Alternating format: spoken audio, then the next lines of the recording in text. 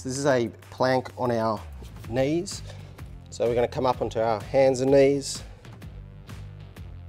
walk the knees out because I want you to drop down through your pelvis. Lift your feet off the ground and we're gonna do this as a contraction. You might do this for 30 or 60 seconds, ensuring you don't drop into lumbar extension. Keep a nice straight spine, keep the pelvis up a little bit. And walk your way back in, rest and repeat.